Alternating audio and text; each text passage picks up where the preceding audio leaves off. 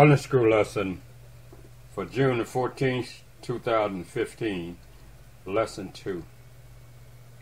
We are still studying from Unit 1. Amos rails against injustice. Injustice. Amos rails against injustice. Uh, we have a subject said from the Adult Quarterly uh, Justice is not just us justice is not just uh, us. When we look at this word rails, and it means to be uh, utterly complained of, uh, of vehement uh, denunciation, okay, of something that you consider that is wrong. And in this lesson, injustice, okay, violates the uh, rights of others is unfair action and it treated someone in the wrong manner. And uh, then we look at the word from the subject, justice. In this lesson, okay, in the book of Amos, uh, justice means uh, doing what is right, uh, clear self.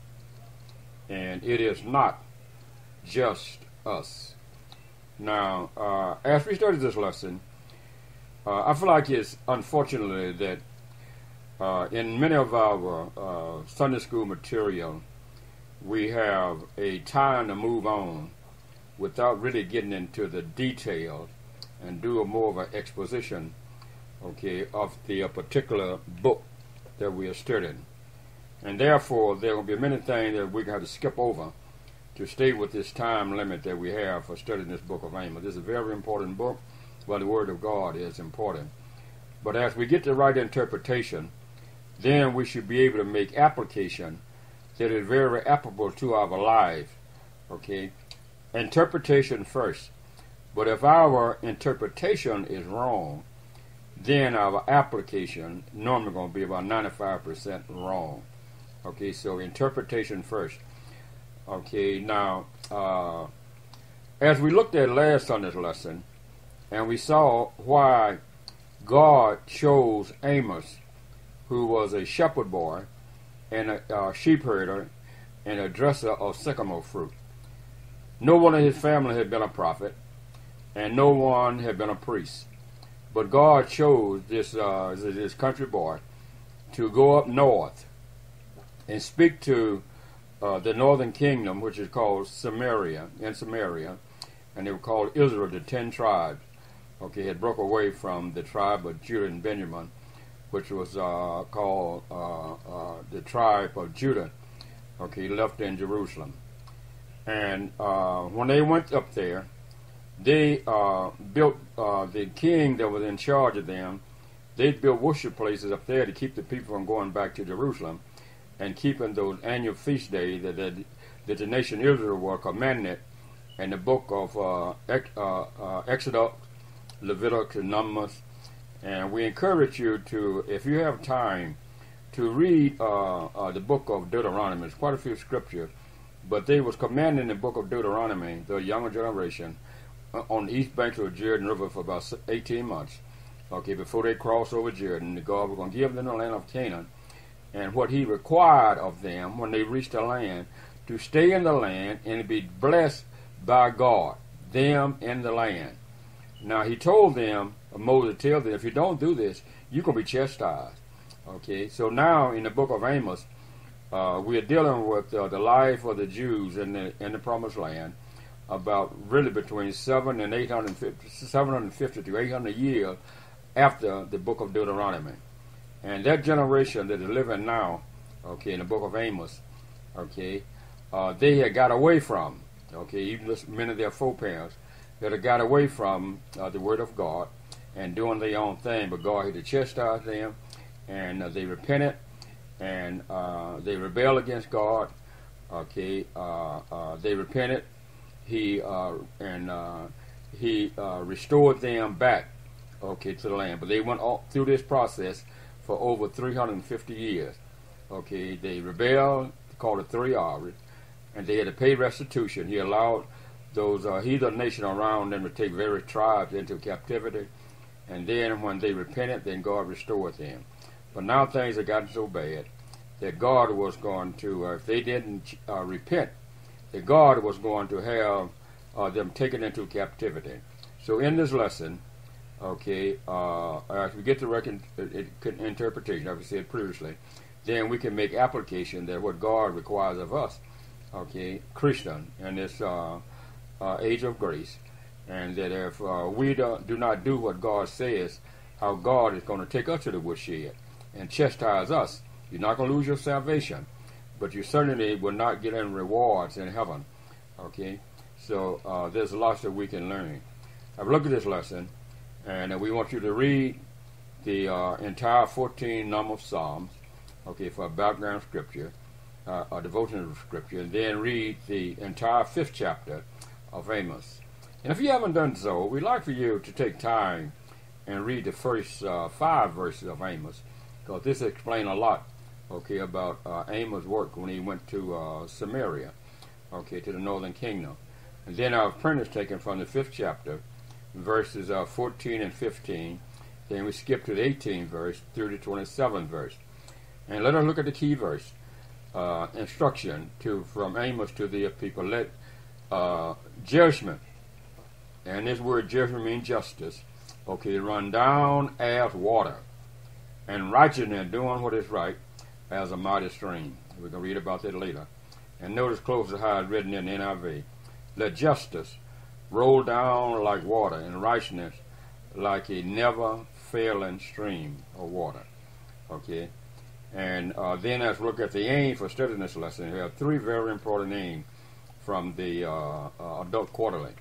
I also would like for you to, if you if you uh, have the uh, Adult Commentary, and that's that subject say God is not fooled.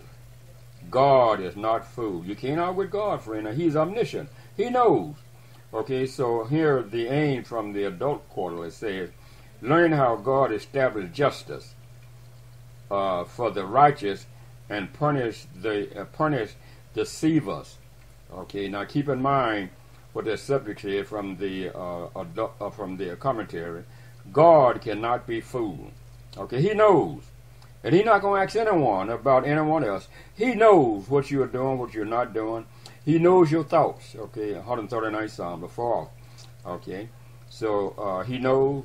Okay, and then uh, number two, recognize and ref- and uh, reflect on action of uh, injustice uh, with within the community of faith. Okay, notice said within the community of faith. Okay, the community of faith is uh, every born again believer that make up the body of Christ. Uh, you have been saved because you believe the gospel of Jesus Christ. You was uh, believe that He died, He was buried, and rose again according to the Scripture. Then you uh, uh, become a part of the body of Christ which is uh, called the community of faith. Now, there are no unsaved peoples in the community of faith.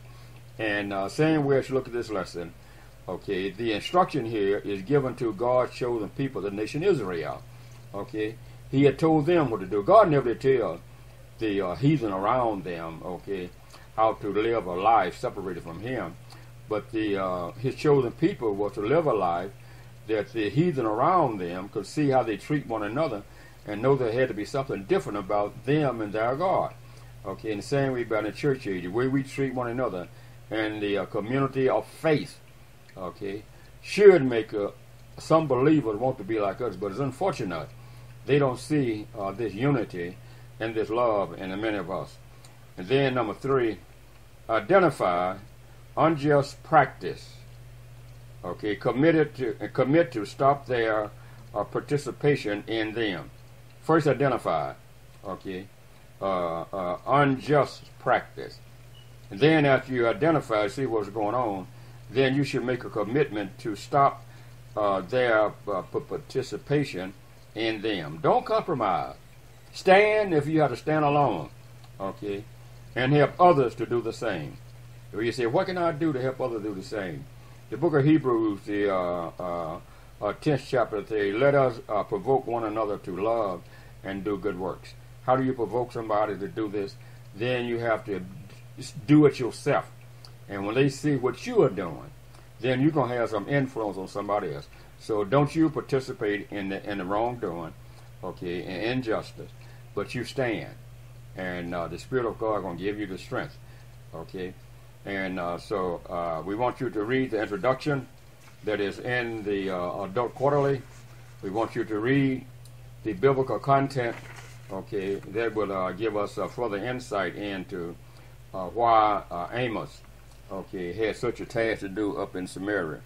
Now, keep in mind when you study about Amos, and Amos was just a, uh, uh, a, a shepherd boy, okay, and he was a dresser of sycamore fruit, wild figs, okay, and but he was nobody in his family had been a prophet, nobody in the family been from the from the priestly line, but God chose him, the Spirit of God.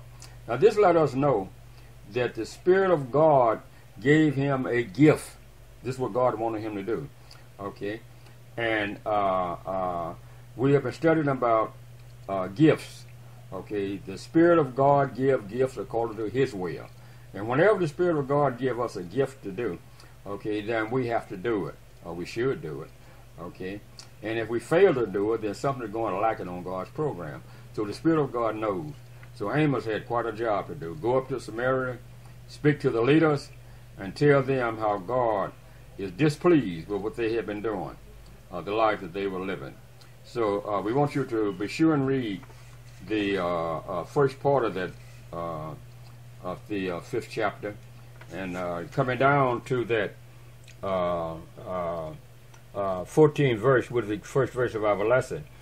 I hope that you started the 10th verse, 10th verse at least, okay. And there was some people, okay. We say that 13th verse, they are prudent, shall keep silent at that time for it uh, is an evil time. Now there was uh, prudent means it was some wise people.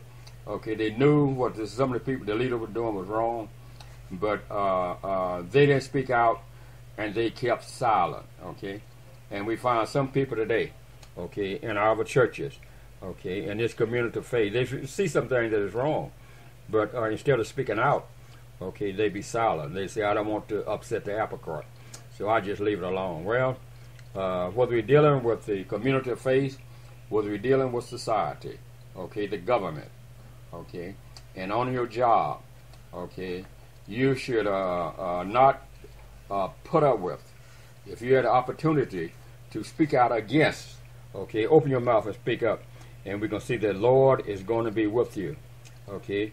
And uh, the first verse of our lesson tell us to. Uh, he's talking to the to the Jews up in Samaria now the northern kingdom. Okay, seek good and not evil, that ye may live, so that the Lord, now notice the way Lord is written, all capital letters, Jehovah, self-existent, all powerful one, the God of hosts. Now notice the capital G and a small o d. That's his Elohim. So Jehovah, uh, God, the God, that's his created name. Okay, uh, Elohim. He created you and made you a nation. And he is the God of hosts. And that's a military term. That uh, uh, he have uh, uh, uh, angel at his disposal. If he needed someone to fight for him, okay, he got a military force. He don't need me and you to fight. He don't need me and you to worship, okay. But he is all powerful, okay, and he don't need us to worship him. We need to worship him, okay, to make us strong and be grateful and thankful and praise him for what he have done for us what he have done, what he is doing, what he shall do. Okay? And uh, it says, uh, the Lord said, uh, no, no, uh, uh, uh, the Lord of hosts shall be with you as ye have spoken. Now, they was had the impression because they at that particular time, okay, Samaritans were living in prosperity. Okay, plenty of everything, and uh, particularly the rich. And they thought that uh, God was blessing them, okay, for the right life that they was living. Okay, it was not that God was blessing them for the right life that they were living. Okay, God was blessing them because of who they were, but God was going to chastise them if they didn't change their ways. Okay, many of us, okay, we uh, uh, will serve the Lord, uh, so to speak, when we are poor and don't have much.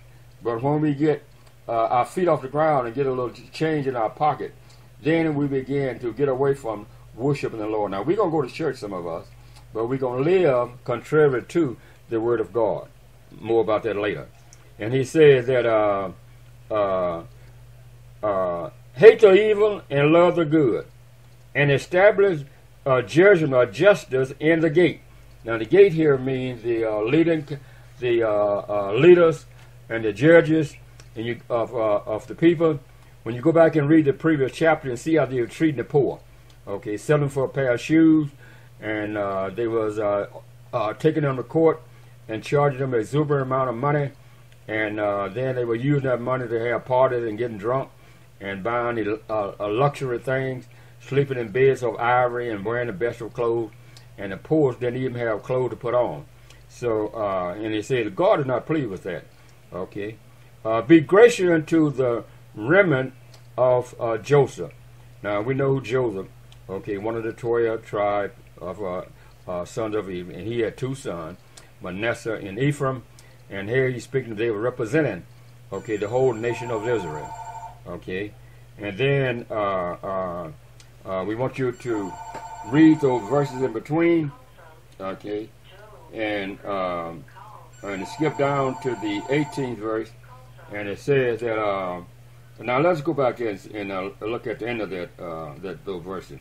In our uh, uh, uh, commentary, it says uh, the the uh,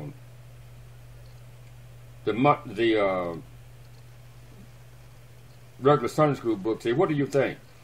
For many, Sunday morning worship is a totality of their relationship with God.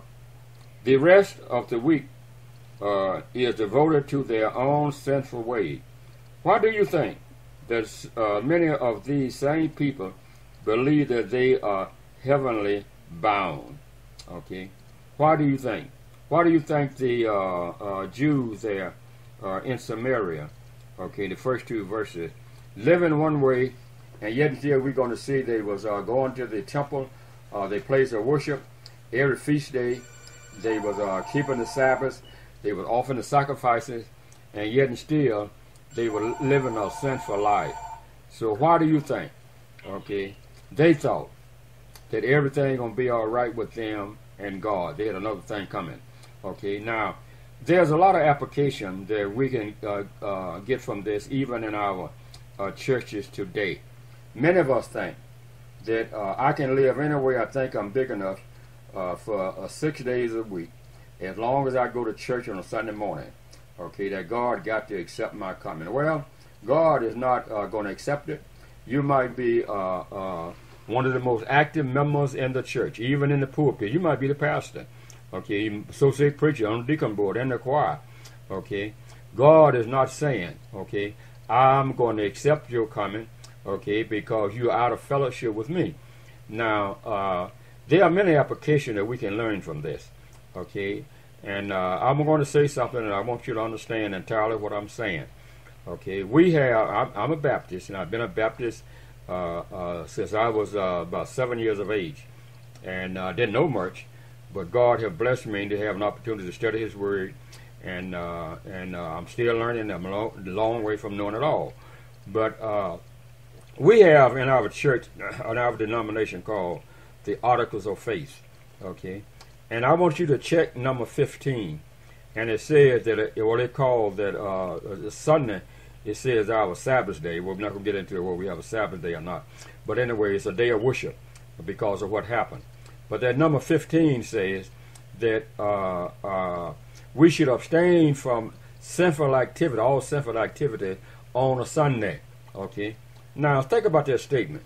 We should abstain on a Sunday. Well, what about the rest of the week? Okay? Uh, uh, and that is the way some of us feel that uh, I can do everything that I think I'm big enough to six days a week. And uh, then on a Sunday, I'm going to church, I'm going to worship, I'm going to sing in the choir, I'm going to uh, preach in the pulpit, I'm going to deacon, I'm going to usher, I'm going to do this and do that in the church. Now, Christianity is a life. Okay, same way by the nation of Israel, they had a life to live. Okay, every day. And same way by the Christian. I mean, if, if this was true, okay, if Satan could have you six days a week, he'll help you to stay away from sinful activities on a Sunday.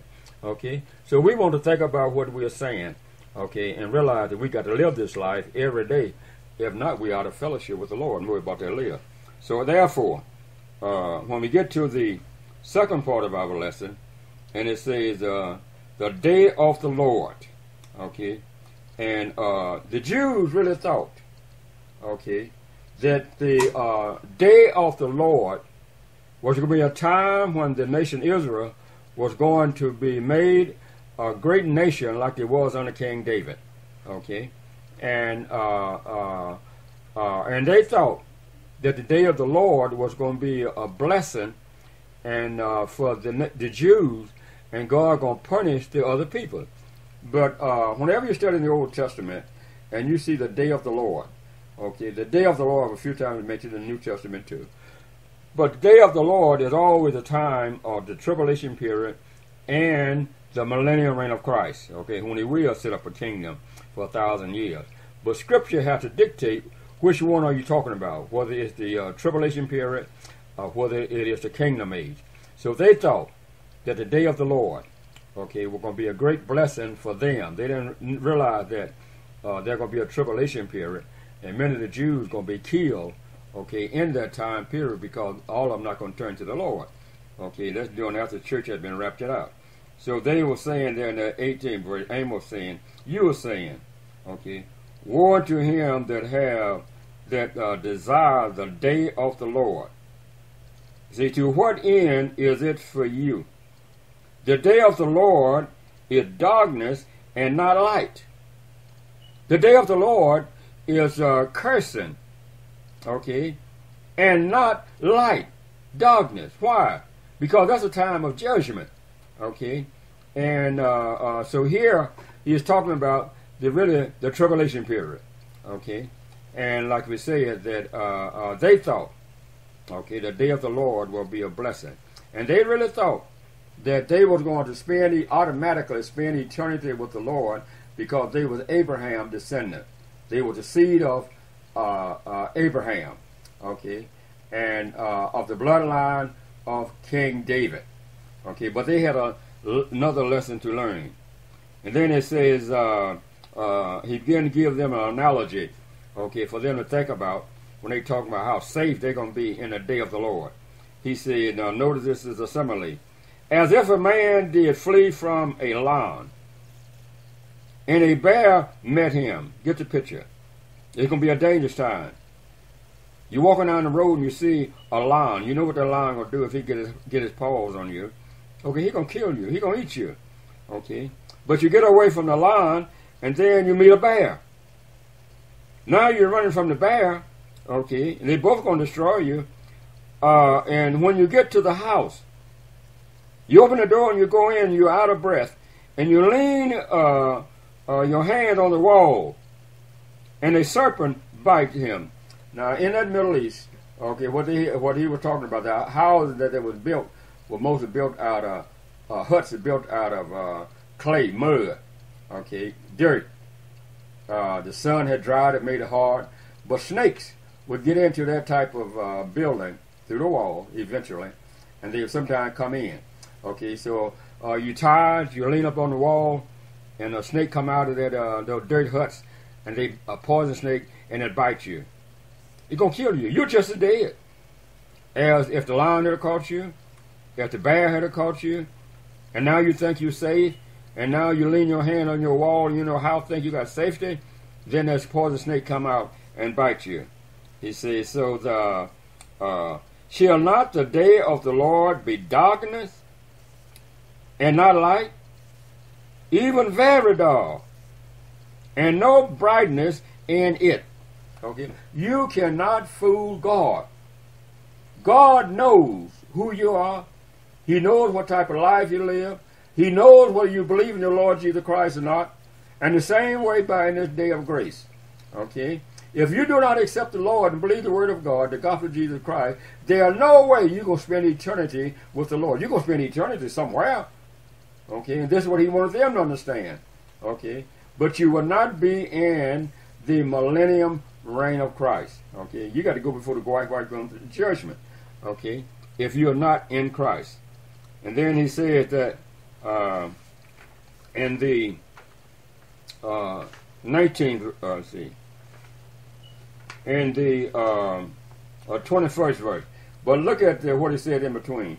Do you think by studying God's Word,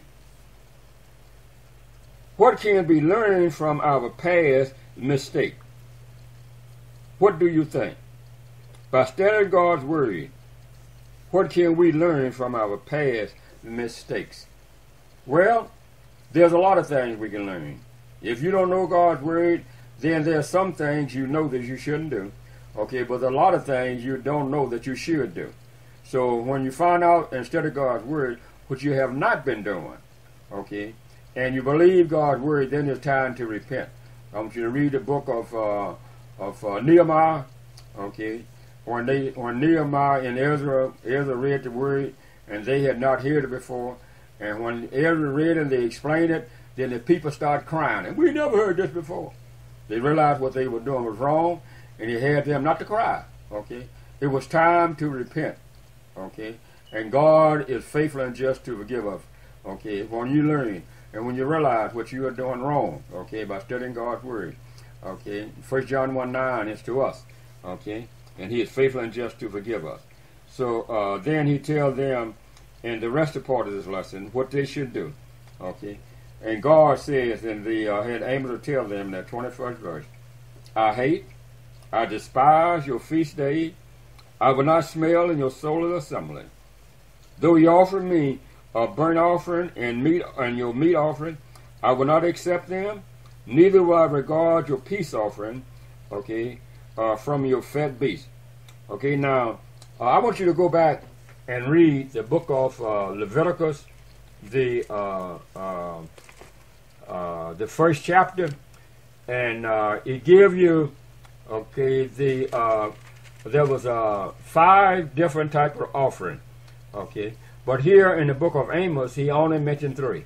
He mentioned the uh, burnt offering, he mentioned the meat offering, and he mentioned the peace offering. Well, there were two other offerings: the sin offering and the trespass offering. But let us see what these first three mean. Read if you read the book of uh, Leviticus, the first chapter, and uh, then uh, read uh, chapter 16 through 13 it tells you what the burnt offering signified. All of these offerings pointing toward the Lord Jesus Christ. And uh, then the uh, next offering mentioned is a meat offering. So you read about that in the uh, second chapter of Leviticus. And uh, the sixth chapter, verses 14 to 23. And then you read about the peace offering, which is in the third chapter. And uh, uh, verse, the seventh chapter, verse 11 through 38. Okay, now the uh, uh, first offering was the burnt offering. Okay, and this was the offering that, uh, uh, speaking about the Lord Jesus Christ, how he was going to offer himself totally, okay, on that cross for my sin and your sin. Okay, and then the meat offering, okay, it was an offering that in the in the second chapter it was uh, made of uh, fine flour, it had oil, frankincense, and uh, it had salt. And all of the different ingredients represented, okay, the type of the Lord Jesus Christ. And then it had the uh, the peace offering, okay, and uh, the peace offering was the offering. Uh, had to kill an animal, and that signified that just like they had killed an animal, okay, when Jesus Christ died on that cross, He shed His blood okay, he had knew no sin, became a sin offering for us, so that we might be made the righteousness of God in him. Okay, Second Corinthians uh, uh, 5.21. Okay, so therefore, uh, uh, then I want you to read the uh, uh, Corinthians 1 3. I want you to read Philippians 4 7, and it tells us about the peace, the peace, okay, that uh, uh, in Romans 5 1 it says, Therefore, being justified by faith, we have peace with God through our Lord Jesus Christ. But then uh, in Philippians 4 7, it says, Be anxious, don't worry about anything, but by prayer and supplication with thanksgiving, let your request be made known unto God, and the peace of God that passes all understanding shall keep your heart and mind through Christ Jesus. You cannot have the peace of God until you have accepted the peace that is between you and God. See, all of these offerings was a type of the Lord Jesus Christ, and He came, okay, and fulfilled all of those type of offerings. So therefore, they was going to the temple, and they was uh, offering, okay, uh, the place of worship. They was uh, going every Sabbath day. They were keeping all of the feast days, okay, but uh, uh, and they had the best choirs that could be sung at that time, okay, and uh, uh but the Lord says, okay, I hate, I despise your feast days. I will not smell in your soul assembly. Though you offer me these type of offering, then he say, Take away from me the noise of their of their, your song, for I will not hear the melody of their vow. Okay, uh, uh, God is talking to them as a group, and today, okay, in our worship service today, okay, God does not condemn the whole church or the whole local church or the whole choir. But God speaks to individuals in the choir, in the church, in the pulpit, in the on the deacon board, on the usher board. Okay? And God speaks to us individuals. I don't care what you might be doing in the local church. If you are living in sin and not recognizing the Lord Jesus Christ, then God is saying what you are doing is just noise. Okay? And you might have the best choir, uh, voice in the choir. Okay? And you're getting all type of pats on the back. You're doing a great job pre- people telling you preached a great sermon, and uh, but yet and still God is saying, I didn't hear a word you say. Okay, you're living in sin. You're coming to church on a Sunday, and you are pretending. God does not accept pretenders. Okay, God knows why you and me doing whatever we are doing. Okay, and if you're doing it for self gratification, okay, some of us in the church is a beehive of activities. But God is saying, I don't even hear a word you're saying. You're just going through the motion. Okay?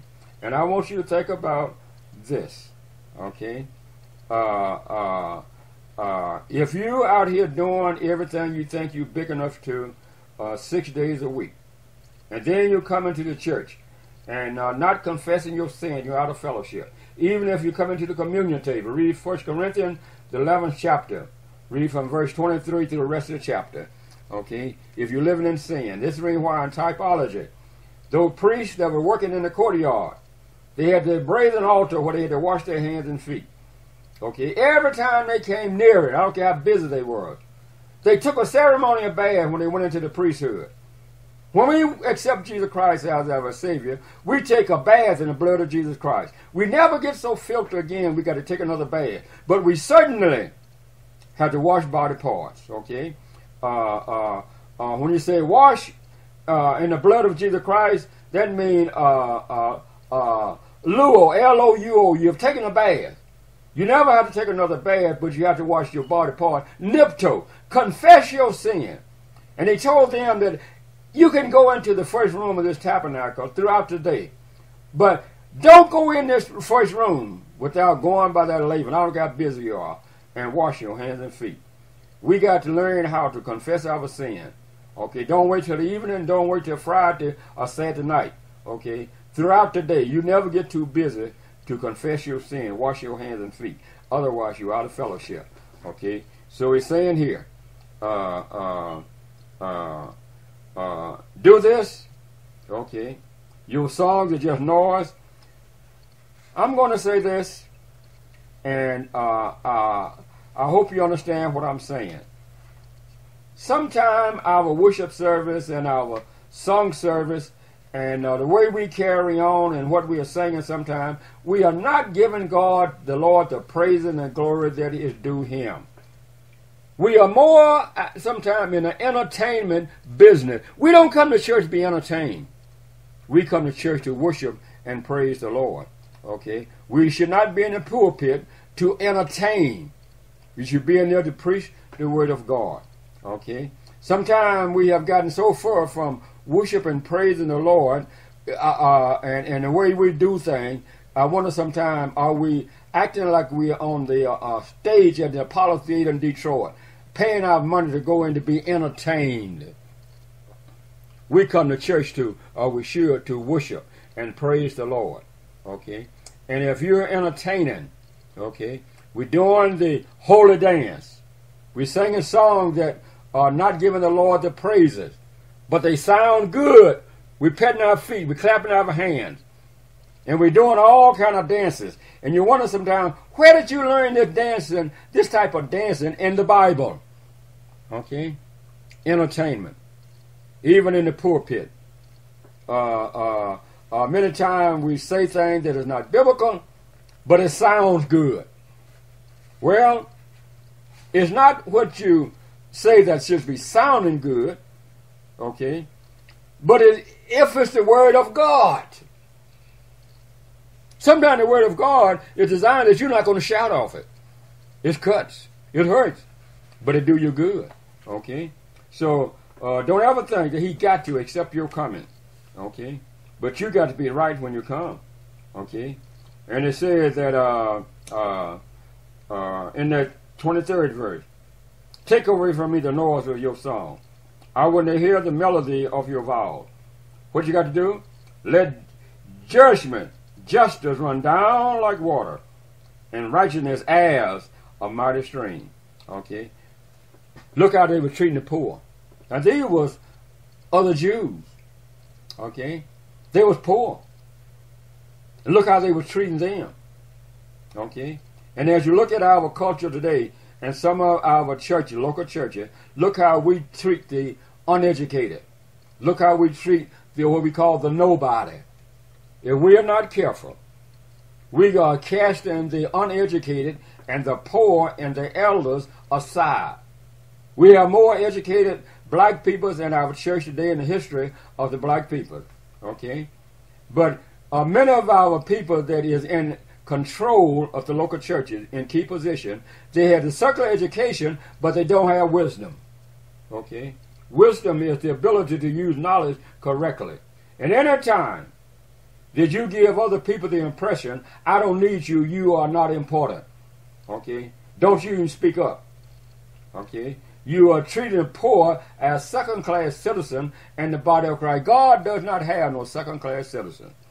Okay? And therefore, in Christ Jesus, we are all one. The church is the most diversified group in the world. But in diversified, we are to have unity. Okay? There are many things in the church that certain peoples cannot do. Okay? But there's something that all of us can do because the Spirit of God give all of us a gift. Okay? And the Spirit of God does not give inferior gifts.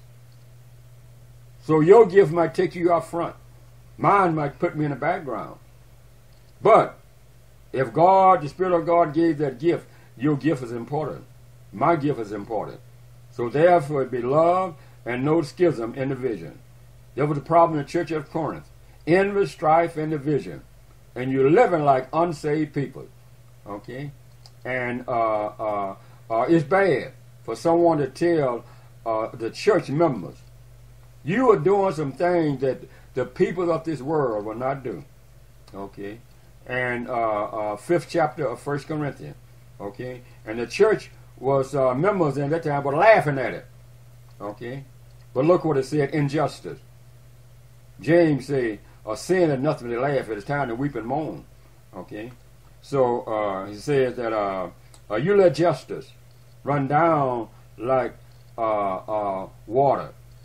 As I look at this in, in, my own analogy, if you pour water uh, on a floor and that floor is on a level, that water you might think is level, but that water gonna gravitate to the lowest spot, and that low spot gonna be filled up first, and then if you keep pouring the water, then the water going to rise up higher and higher, and then it's going to cover the high spots. Then if it keep rising, and that water on the top going to be level. Okay? And therefore, but the unlevel part is going to be underneath. And that's the way it is in the body of Christ. Take care of the poor first. Treat them right. Let justice run down like water. Cover up, take up, take care of the uh, poor, the underclass, the one you call nobody. They are important. Okay? And then let uh, righteousness run down like a mighty stream. The uh, in the King James in the uh, uh, Old Testament it said uh, living water, steady running. But we are seeing uh, floods uh, in the last for a few months in various states, and these floods come down and wipe out everything in its path: houses, trees, big trees, big houses, eighteen wheelers, and whatever else is in its path, it wipes out. And and we are in this Christian race and this and this uh, faith, we got to learn how to let justice run down and wipe out all things that is uh, contrary to. Run down like uh, a mighty stream. Okay? And that is not only in the church, but in your community. Some of us have a position in government, state, federal, and local. Got high position. But we want to stay where we are, and therefore we compromise and call yourself a Christian. Well, you got to learn how to stand up. If you have to stand alone, okay, God is going to take care of you. You are, He is a, a, a God of Sabaoth. The New Testament, which is the same thing, uh, a God of hosts in the Old Testament. Okay? And it says that uh, uh, you, okay, you are offering me sacrifice and offering in the wilderness these 40 years, O house of Israel. Okay, now he's talking about the, uh, uh, uh, uh the whole 12 tribe. And look what they done while he was uh, doing all this for them in the wilderness. They want to turn away from him and talking about uh, worship a, a, calf. Okay? And look how God forgave them. And then he says, you have borne the tabernacle morally. You have uh, been blessed in this land. You go into the temple or the place of worship. You offer these sacrifices, but yet still you're worshiping our gods. Okay? But you're pretending. And you come into these feast days. You bring these feast offerings. You're keeping the Sabbath. But I know who you are. And I will not accept that. Okay? These the gods. You worship the sun god, Saturn, the moon god. Okay? And say, therefore, I will cause you to go into captivity beyond Damascus, saith the Lord, saith Jehovah, whose name is the God of hosts. I got the power. I got the authority. I got the military power to take you into captivity beyond Damascus. Damascus was north of uh, Samaria. The Damascus was the headquarters of Syria. Okay? But beyond Syria was the Assyrian. And they was going to take Damascus in captivity. And then they were going to come on down a little further south and take the uh, Samaritan, the northern kingdom, into captivity. And they will became come known, uh, known as the ten lost tribe of Israel. And today, 722 BC. See, this was uh, uh, uh, uh, talked about in about 760. Uh, but in 722, the Assyrian, okay, taking Damascus and they taking, come on down and they taking Samaria, kept the Jews into captivity. Today they're still known as the ten lost tribes. Then he talk about the house of Judah. Okay, they were no better than the uh, northern kingdom. They were going to be taken into captivity by Babylon. Okay, and uh, 586 BC, and they're going to be there for 70 years. All because, okay, God had blessed them in the land, and they uh, had turned away from God. Okay? God keeps his covenant. That's a promise. God is not satisfied with his people, whether the church or the nation of Israel, that time living in sin. We can be so ungrateful. Children of Israel should have realized that all that God had done for them as a nation. And we should realize that where God had brought us from. Sin and darkness Couldn't help ourselves. Now in Christ Jesus we have liberty. We have the Spirit of God to guide us. But yet and still we allow Satan to take charge. And we compromise and think that God have to accept our coming. Well, we got we got another thing coming. God is saying, I haven't accepted. I will not accept it. And then look at the closing thoughts. Some people cover their evil ways with outward action of goodness, who will recover their deceit and demand justice. The people learned through Amos that God would not be fooled by insincere offering and will severely punish all sinners. We're not going to lose our salvation, but we got to go before the bema seat or the judgment seat of Christ. And that's for our rewards. But many of us that are saved, we're going to go there and we will not receive any reward. We'll beehive our activity. But what we are doing, we're doing it for the wrong motive. And God does not have rewards for people who are in the local church, been saved, and doing things for the wrong motive. The unsaved got to go before the great white, white white throne judgment. And they're going to be judged because their name is not written in the Lamb Book of Life. They are not saved. They're going to be cast into the lake of fire. Okay? And they're going to spend eternity being punished. We hope that as we study this lesson, don't just stay back there with the nation Israel when you get the correct interpretation. But make sure you make application that is very applicable to our life. Too many of us in the church today think that I can live in a way I think I'm big enough to. Pay my money, talk good, sing good, pray good, preach good. So the people say. But God is saying, I don't hear a word you say. You're living in sin. You're out of fellowship. But God has fixed it. You may be telling the people repent. Before it's too late. God is saying the same thing to you and to me today. If you living in sin and would not repent, I'm going to eventually have to call you home early. Thank God. We are secure. But we got to be obedient to the Word of God to receive rewards.